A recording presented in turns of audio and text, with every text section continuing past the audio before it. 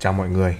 À, hôm nay thì David lại tiếp tục đến với một cái chủ đề mà chúng ta vẫn thường hay hỏi vào những cái dịp đầu năm. Thì năm 2019 đầu tư là gì và sơ đồ đầu tư ra sao? Thì à, hôm nay chúng ta sẽ mổ xẻ và phân tích về những cái mô hình đầu tư.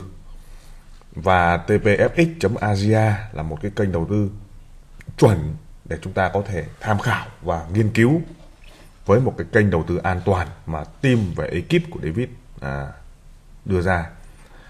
Cái việc mà chúng ta có thể hiểu được trong năm 2019 này nó cũng có rất nhiều cái việc đổi thay, có những cái mô hình đã sụp đổ và những có những cái mô hình à, mới sẽ được tăng lên.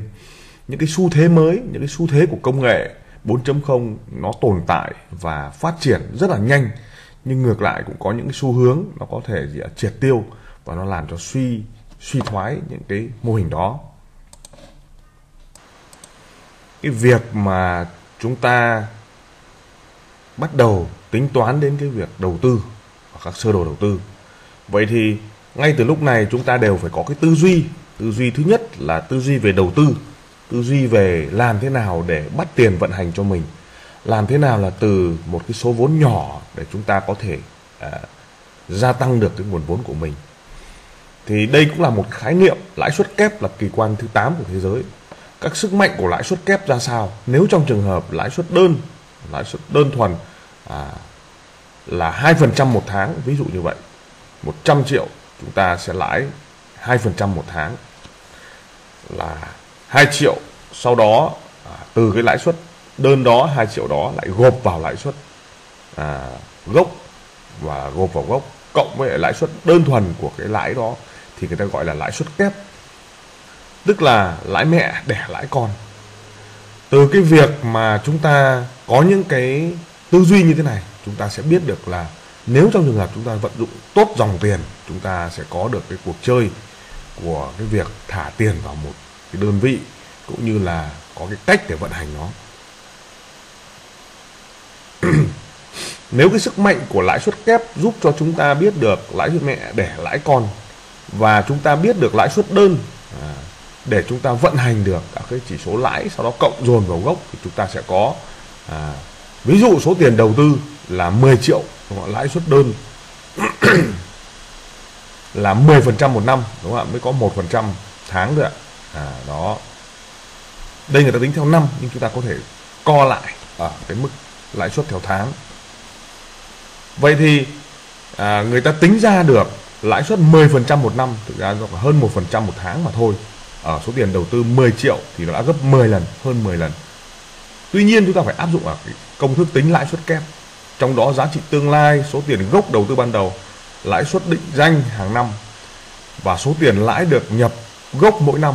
À, tức là cái lãi đó của chúng ta cũng không rút ra và để nguyên và được nhận tiếp khi mà áp dụng lãi suất kép các sức mạnh của lãi suất kép được đánh giá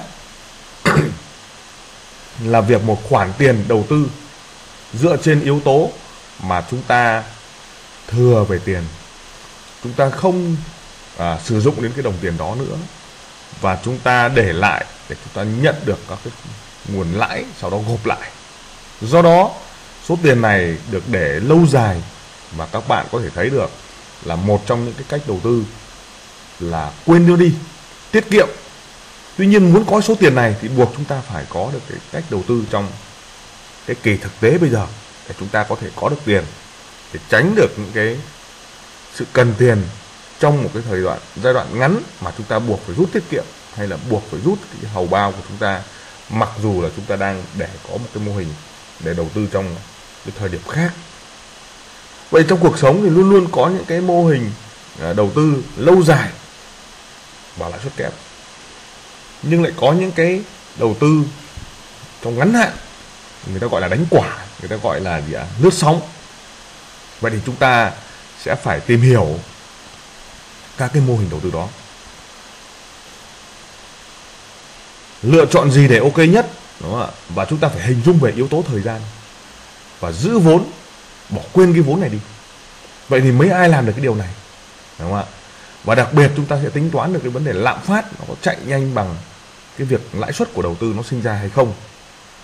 Ở Việt Nam thì chúng ta nhìn thấy được là cái mô hình à, tiền gửi ngân hàng là một trong những cái mô hình lãi suất rất thấp đảm bảo cái sự an toàn.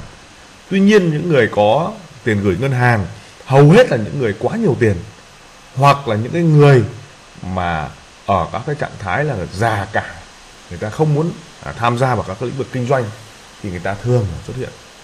Do vậy à, lãi suất giúp cho người ta giữ tiền là chính. Do vậy là gì nếu theo yếu tố đầu tư thì người ta không còn gọi là yếu tố đầu tư nữa. À, người ta lại trở thành qua một cái đầu tư mô hình cũng của ngân hàng có thể là một cái dạng đầu tư bảo hiểm bảo hiểm trong ngân hàng hay là một đầu tư theo một kỳ hạn. À, hay rất nhiều các cái vấn đề khác về lãi suất à, huy động mà ngân hàng người ta tung ra. Chúng ta xem xét một câu chuyện ở đây. Thì trong cuộc sống chúng ta thấy được là có những cái cảm xúc về chi tiêu. Tôi lại vung tiền theo cảm xúc rồi giờ hối tiếc. Hôm qua tôi chỉ xem thằng em chơi trò chơi trên mạng rồi vui vui lại nhờ nó đặt mua cho mất, mất hơn 6 triệu. Đúng không? tôi 26 tuổi đã có gia đình và có con trai đầu lòng được 2 tháng tuổi. Tôi làm cho một doanh nghiệp nước ngoài với mức lương 12 triệu một tháng và khi tôi viết bài này thì tôi cảm thấy rất tiếc khi đồng tiền của mình đã phung phí vào những trò chơi vớ vẩn đúng không ạ? Đây là những cái mà hầu hết chúng ta sẽ gặp phải. Và các cái à, lời khuyên là phải quản lý thật chặt số tiền của mình mặc dù cái số tiền lương của mình rất cao nhưng nếu trong trường hợp trong một cái môi trường tiêu pha như vậy trong một cái môi trường online và mua sắm online cũng là một trong những cái chỉ số sức mạnh về nghiện rất là nhiều. Nghiện mua sắm nghiện đò trò, trò chơi công nghệ nghiện những cái ờ, sản phẩm công nghệ hay là những sản phẩm thời trang xa xỉ thì nó cũng làm cho chúng ta không thể đầu tư được. Chúng ta cần ba vòng tròn để giao thoa nhau để chúng ta thành công được trong cái đầu tư.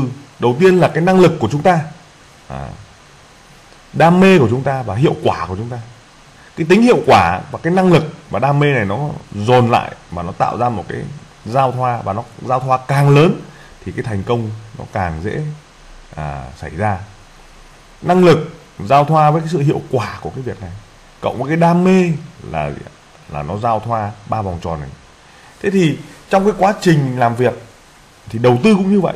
Cái năng lực đầu tư cái khả năng chọn lựa các sản phẩm đầu tư à, và đam mê chúng ta phải đam mê tìm tòi nó phải tìm ra được cái thị trường ngách cũng như là các cái mối quan hệ ràng buộc của việc gia tăng lãi suất. Thì hiệu quả nó sẽ đem đến.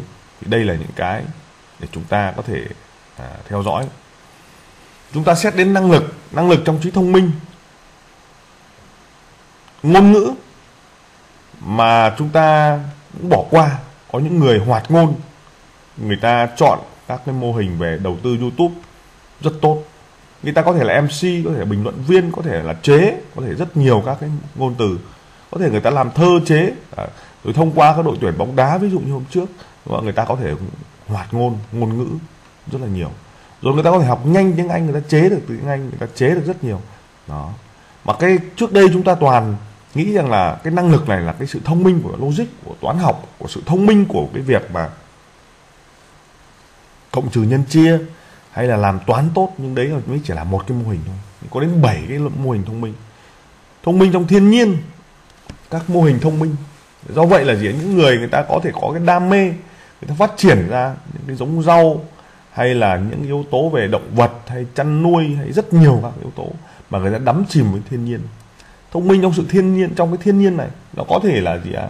À, các sản phẩm về từ thiên nhiên hay là một à, cái yếu tố nào đó mang tính chất natural rồi thông minh trong vận động các trí thông minh trong vận động người ta có một cái năng khiếu trong đó thông minh trong âm nhạc trong giao tiếp. À, có những người tưởng chừng như là à, toán học người ta rất bình thường ngôn ngữ người ta cũng bình thường nhưng người ta lại thông minh trong giao tiếp.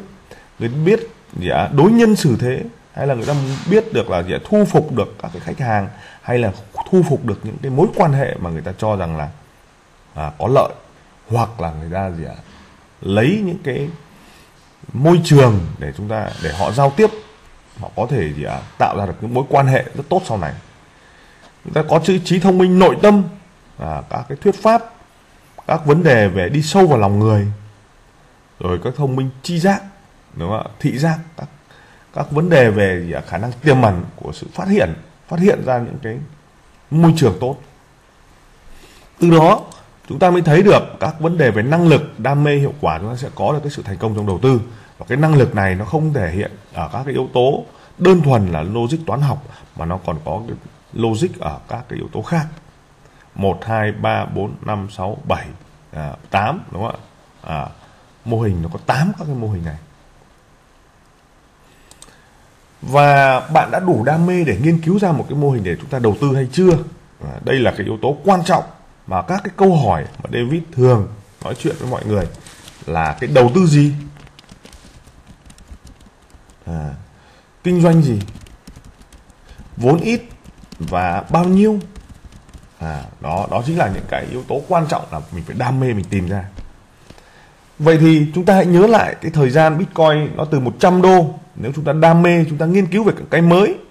Và David có một cái à, may mắn là nghiên cứu về tên miền các website từ những cái thời mà rất là rẻ từ cái thời mà chưa ai nhìn thấy là các domain các website và đã bán được rất nhiều các website tốt. Vì đấy là một trong những cái yếu tố đam mê.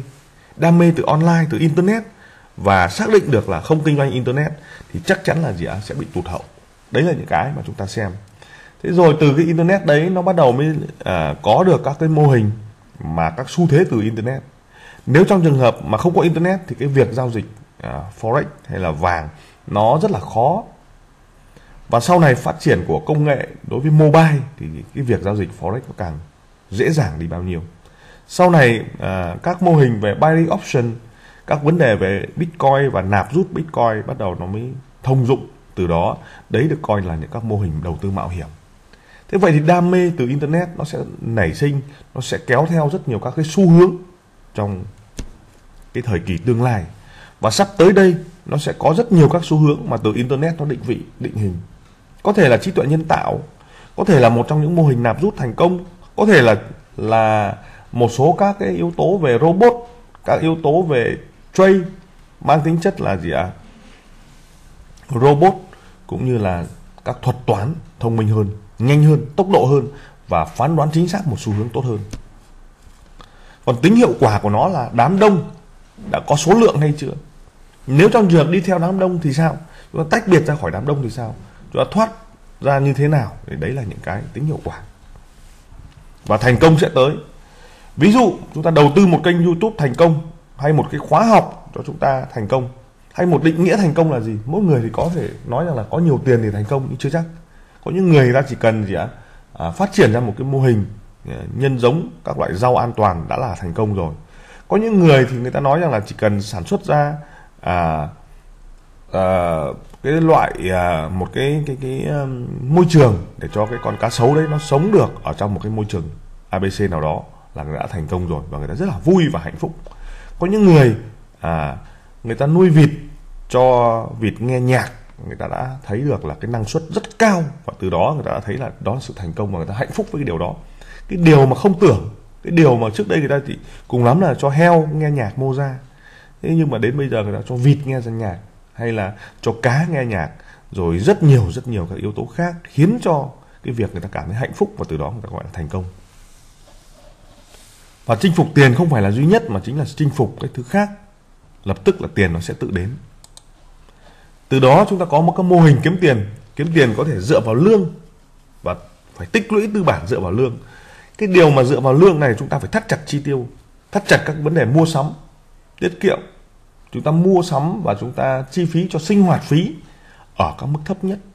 Từ đó chúng ta tích lũy tư bản để chúng ta có một khoản A, khoản B, khoản C cộng dồn lại với nhau. Lập tức chúng ta có được cái tích lũy tư bản để chúng ta bắt đầu định hình vào cái mô hình đầu tư. Và ai cũng biết được rằng là gì ạ? Chúng ta sẽ trải qua từ lúc còn trẻ đến lúc trung niên và đến về già. Nếu trong trường hợp chúng ta đạt được các mức đẳng cấp, không nói về cái vấn đề làm giàu từ việc thừa kế từ cái việc mà chúng ta có tiền nguồn sẵn có thì ai cũng phải trải qua các vấn đề thứ nhất là từ làm làm công làm thuê để chúng ta tích lũy sau đó chúng ta đến làm chủ và chúng ta thuê người khác để à, để làm cho chúng ta sau đó nữa là chúng ta gì không làm nữa và chúng ta để cho người khác làm và chúng ta thu lợi nhuận và mức cao nhất đó là từ cái lợi nhuận đó rồi người ta vẫn làm người ta, chúng ta vẫn thuê và chúng ta cũng có một cái khoản tiền và chúng ta bắt đầu trở thành cái người đầu tư và cái người đầu tư này lúc này nó sẽ rất nhanh. Nếu trong trường hợp chúng ta đầu tư chính xác thì cái khoản tiền có thể nhân gấp đôi gấp ba người ta gọi là theo cấp số nhân. Tuy nhiên nếu trong trường hợp chúng ta đầu tư sai lập tức là gì ạ? Cái khoản mà lúc ta còn trẻ làm thuê tích kiệm sau đó chúng ta à, thuê người làm chúng ta tích được một cái và đến khi chúng ta đầu tư sai lập tức là chúng ta lại trở về mò. Chúng ta lại trở về cái giai đoạn làm thuê và khiến cho con người trở thành chán trường và từ đó gọi là xã hội và xã hội nó sẽ phân hóa giàu nghèo. Có những người thì sao ạ? Thông qua các cái mô hình đầu tư chính xác, người ta đã trở thành từ 1 tỷ lên 10 tỷ, lên 50 tỷ, lên 100 tỷ, ví dụ như vậy. Tuy nhiên cũng có người là gì ạ? Tiết kiệm và bắt đầu từ cái việc làm thuê, rồi thuê người làm, rồi có một khoản tiền là 5 tỷ, người ta có thể rơi vào cái vòng xoáy và chúng ta thấy được họ chỉ còn 1 tỷ và còn mấy trăm triệu và tất tất nhiên họ lại phải quay trở lại cái giá trị ban đầu. Do vậy thế mới gọi là xã hội và chúng ta phải biết được là à, làm thế nào để gia tăng tích lũy được tư bản. Sau đó chúng ta phải chính xác về vấn đề đầu tư. Các mô hình kiếm tiền nó đưa ra được các cái yếu tố để chúng ta có thể thấy được cái cách. Và lúc này chúng ta phải ở cái trạng thái nào là chúng ta biết được cái trạng thái đó? Chúng ta ở trạng thái đầu tư thì chúng ta phải chọn lựa miếng đất nào cổ phiếu nào à, các cái cách để chúng ta đầu tư vàng hay là sao để chúng ta tốt nhất và an toàn nhất đảm bảo nhất. Nhưng mà ở chúng ta ở giai đoạn bình thường giai đoạn đầu tiên giai đoạn khởi nghiệp giai đoạn làm thuê giai đoạn làm công để tích lũy tư bản thì chúng ta phải biết cách tiết kiệm. Biết cách tiết kiệm thì các cụ nói rằng là gì ạ? À, buôn tàu buôn bè không bằng ăn dè hà tiện. Thì đây là các câu nói phù phù thuộc phù hợp vào những cái giá trị mà chúng ta ở cái trạng thái ban đầu. Đã nói là giảm chi tiêu, mọi cái, thắt chặt chi tiêu và mục tiêu đạt được cái mục tiêu của cái vốn của mình, mục tiêu đạt được cái sự tích lũy tư bản của mình. Ví dụ, bạn cần 30 triệu để đầu tư vào một cái khoản này, lập tức chúng ta phải thắt chặt chi tiêu để có mục đích. Nhưng có những bạn thì mục tiêu là gì ạ? Đạt được 30 triệu để mua một cái điện thoại quá xịn, chẳng hạn như vậy. Thì đấy là một cái tiêu sản. Hoặc là có những bạn, mục tiêu 30 triệu để mua một cái điện thoại, nhưng dùng để quay video, up lên YouTube với một cái kênh của bạn ấy là làm tốt. Thì đấy lại là một cái tài sản để bạn ấy có thể gì gia tăng được cái nguồn tiền và giá trị đầu tư trong tương lai. Có rất nhiều các lý do. Vậy đầu tư vào để nó gì giúp cho chúng ta có một cái công việc cũng là có một cái nguồn tiền. Và cái điều quan trọng là cắt giảm các cái vấn đề mua sắm online, thắt chặt mua sắm online, tiết chế đam mê mua sắm, giảm chi phí thời gian và giảm chi phí đồ chơi công nghệ, tăng giá trị lên với các mẹo vặt. Cái mẹo vặt này giúp cho cái việc mà đầu tư sau này giúp cho tiêu sản trở thành tài sản. Các vấn đề về tiết kiệm chi phí các vấn đề về thay vì mua mới chúng ta mua cũ vấn đề rất nhiều để chúng ta thấy được cái khả năng tăng cường về vốn để chúng ta có thể à, tích lũy được tư bản sau đó chúng ta tham gia vào đầu tư. Cái điều nữa là chúng ta phải tăng cái khả năng giao tiếp à, tìm ra những cái người mà chúng ta có thể dạy để chúng ta đầu tư có thể tìm trên mạng có thể tìm được ở các cái cái, cái, cái lớp mà chúng ta có thể tham gia rồi hội thảo điều quan trọng là học được gì mỗi ngày. Điều quan trọng nhất là sự tri ân và tính đúng đắn của tự mình ngộ ra bản lĩnh đầu tư. Các cái công thức đầu tư trong cái điều kiện vốn nhỏ vốn vừa và vốn lớn kiềm chế bản thân trong các mô hình chi tiêu cắt lỗ sớm nhất và nhảy ra ngoài thị trường khi rủi ro và sớm quản trị được rủi ro mà mức xấu nhất là gì? Phải định nghĩa. Thì đây là những cái mô hình để chúng ta à, có được cái nhìn để chúng ta biết là đầu tư gì. Vậy thì trong các cái báo trên mạng, chúng ta bắt đầu tìm kiếm những cái mô hình năm 2019 đầu tư gì? Đầu tư gì với 200 triệu? Có nên đầu tư vào cái thời điểm này hay không? 50 nền kinh tế đáng đầu tư năm 2019 kinh doanh gì hiện nay đang là xu hướng của 2018 2019 và năm 2019 thì đổ tiền vào đâu? Chứng khoán các thị trường mới nổi đã có một năm khó khăn nhưng điều này có thể thay đổi đáng kể trong năm tới. Và người ta nói rằng năm 2018 à, là các cái chu kỳ 10 năm, ví dụ 2007, 2008 này, rồi 10 năm là 2017, 2018 là những cái chu kỳ người ta gọi là khủng hoảng tài chính. Rất nhiều các cái yếu tố về khủng hoảng tài chính. Do vậy năm 2019 nó là một trong những cái bản lề để vượt lên cái kỳ khủng hoảng đó. Người ta đưa ra rất nhiều các mô hình có thể gì ạ? À, À, giúp cho các cá nhân đầu tư và thu lợi nhuận. Nhưng đối với tôi thì các cái câu hỏi về tỷ lệ đầu tư với từng số vốn tương ứng, đây là yếu tố quan trọng nhất.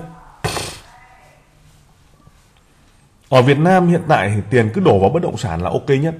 Là rất nhiều các cái nhưng vấn đề bất động sản bạn có bao nhiêu tiền thì bạn à mua được có những người nói với tôi là bất động sản phải có 1 tỷ hay 100 triệu nhưng mà hiện tại các mô hình ở bất động sản người ta có 30 triệu 40 triệu, người ta cũng có thể gì ạ, mua được bất động sản. Vậy người ta chịu rủi ro như thế nào? Thứ nhất là người ta chọn những cái mô hình bất động sản ở dạng gì ạ 10 triệu thì làm như thế nào? Thì các lớp bất động sản người ta đưa ra rất nhiều. Ví dụ, nếu có 10 triệu là người ta chỉ đủ để đặt cọc cho một mua với một bộ hồ sơ trong một cái đơn vị hot mà thôi. Vậy 10 triệu đó mình đăng ký được và mình ra ngoài mình có thể thấy được cái độ hot của nó. Tất nhiên nếu mà trong trường hợp nó không hot thì 10 triệu đó mình có thể mất trắng. Nhưng nếu nó hot ra ngoài mình bán cái suất 10 triệu đó à, tôi đã mua được cái suất này và tôi có thể bán cho anh với giá 30 triệu hay 50 triệu cũng hoàn toàn cũng có thể xảy ra. Thậm chí có một suất là đặt lên thị xã hay là từ những cái ờ, thị xã lên thị trấn thị tứ. Đó là những cái vùng ven mà người ta phân lô. Và khi phân lô người ta mở cái tổ chức đấu thầu với những cái chi phí ban đầu của việc nộp hồ sơ. Đó cũng là một trong những cái mô hình có thể đầu tư bất động sản. Với vốn lớn người ta có thể mua và với vốn nhỏ à, người ta có thể đầu cơ hoặc là gì á đăng ký suất. Sau đó là nhờ bán lại rất nhiều.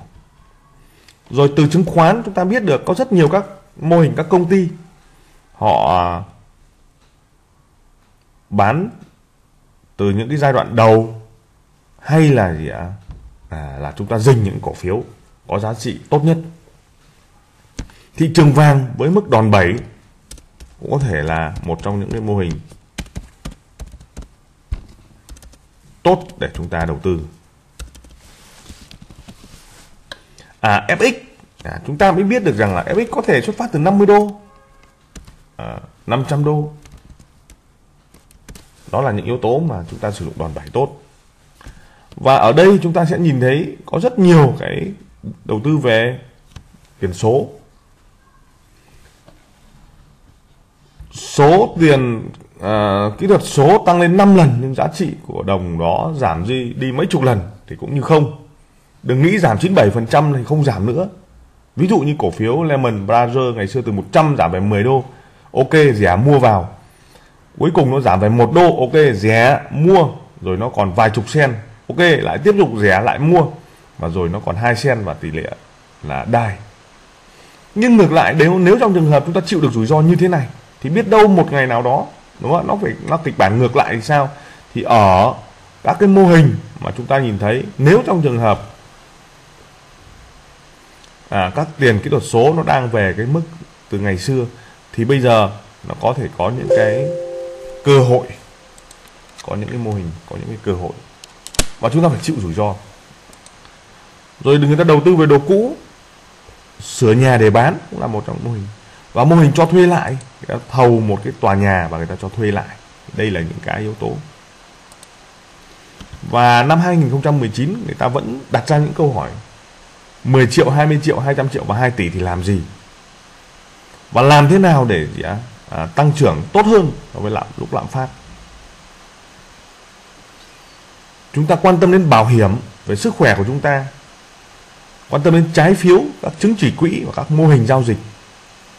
Và chúng ta không bỏ trứng vào một giỏ. Nghề tay trái của chúng ta ra sao? À, đương nhiên chúng ta vẫn phải có nghề tay phải để chúng ta giúp chúng ta trong những lúc khó khăn nhưng cái nghề tay trái là chúng ta phải hiểu được để chúng ta có thể tham gia đầu tư để gia tăng cái tiền của mình cái sự đam mê ví dụ như là mê gym tập gym thì kiếm tiền từ gym rất là dễ. Nếu đam mê yoga sẽ kiếm tiền từ yoga rất dễ. Cũng là chia sẻ hướng dẫn năm 10 người. Tập gym có thể bán đồ phòng gym hay là các cái mô hình dinh dưỡng về gym. Chúng ta cũng có thể gì à, kinh doanh. Từ một cái website chúng ta có thể có link link được với Facebook rồi các cái quảng bá ra ngoài khiến cho bạn bè rồi khách hàng giới thiệu khách hàng. Chúng ta cũng có thể bắt đầu từ những cái vốn rất nhỏ. Ví dụ là những cái mô hình về nuôi chó. À, nuôi chó cảnh đúng không ạ? Và người ta bán thức ăn cho chó người ta cũng đã có thể kiếm được tiền từ cái đam mê của họ. Và hôm nay David thì sẽ giới thiệu một kênh đầu tư đó là TPFX.asia thông qua việc giao dịch hedging lệnh với cái tỷ lệ bảo toàn vốn và chi tiết ở No Loss System với richfund.com thì chúng ta sẽ được nghiên cứu đưa ra các giải pháp với cái mức lãi suất an toàn và đầu tư rất là chuẩn để chúng ta có thể gia tăng cái lợi nhuận của chúng ta.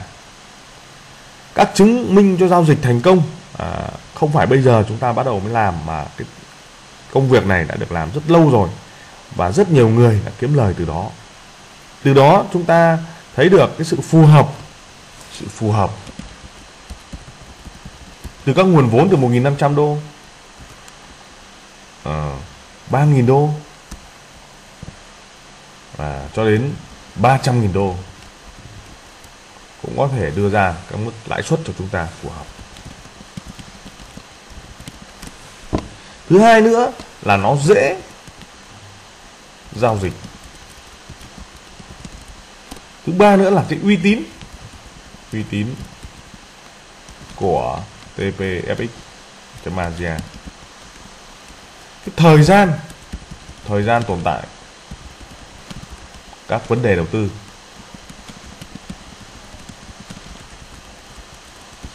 Đã được kiểm chứng.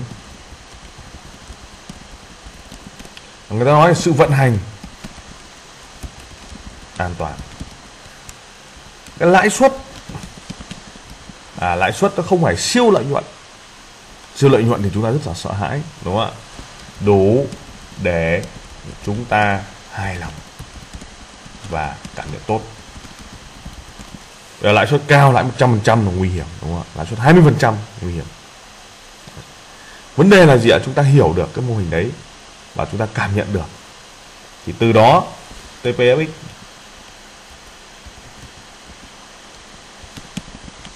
là một trong những cái địa chỉ đáng tin cậy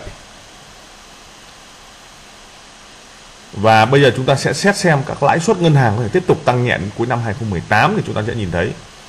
Cái việc lãi suất ngân hàng tăng nhẹ cuối cuối năm 2018 lập tức lãi suất cho vay sẽ phải tăng cao. Từ cái việc lãi suất cho vay tăng cao này khiến cho cái thị trường bất động sản cũng như là cho vay mua xe, rồi mua xe, mua, cho vay về sản xuất, chi phí sản xuất sẽ chắc chắn sẽ tăng cao. Từ cái việc tăng cao này khiến cho gì ạ? Chúng ta dự đoán kinh tế sẽ ngày ngày càng khó khăn.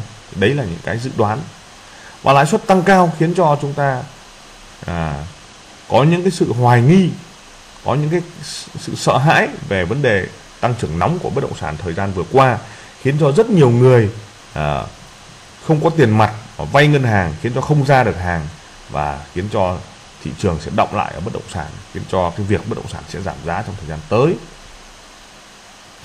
Các cái câu hỏi là năm 2019 đầu tư gì? À, các cái câu hỏi. Rồi các ý tưởng đầu tư gì vào năm 2019 là ở thời điểm này và kinh doanh hiện tại đang là xu hướng như thế nào? Và dòng tiền 2019 ra sao? Đúng không ạ? Và xu hướng bất động sản 2019 là gì? Thì đây là những yếu tố à, là người ta hỏi rất nhiều. Và năm 2019 đầu tư gì đổ vào đâu? Buôn gì vốn ít lãi cao. Đúng không ạ? Và kinh doanh tại nhà ra sao? 90% dân Hà Nội đúng không ạ? À, ngày tay trái đầu tư gì có rất nhiều các cái kinh doanh gì ở nông thôn 2019 kinh doanh 2019 đúng không? rất nhiều. Thì từ đây à, chúng ta cùng mổ xẻ để tìm hiểu về cái cách đầu tư ppfx.asia một trong những giải pháp không thua lỗ. Tuy nhiên việc đầu tư nó phụ thuộc vào số vốn. Do đó chúng ta sẽ tìm hiểu để chúng ta đưa ra các giải pháp và chúng ta cảm nhận được sự an toàn đặc biệt là an toàn vốn gốc. Thì mọi người mọi thông tin chúng ta có thể dạ, liên lạc với David ở tpfx.asia mọi thông tin chi tiết chúng ta vào tpfx.asia để đăng ký. Alo 0987732228 để được à, giao lưu và cùng tư vấn. Mọi người có thể à, tham khảo một cái kênh đầu tư là trong YouTube của David đó là thế giới đầu tư.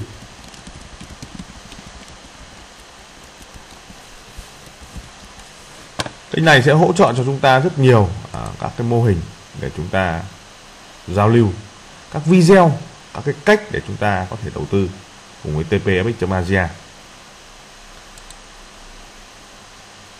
chúng ta đừng ngần ngại. Alo và zalo 0987732228 và xin được cảm ơn mọi người.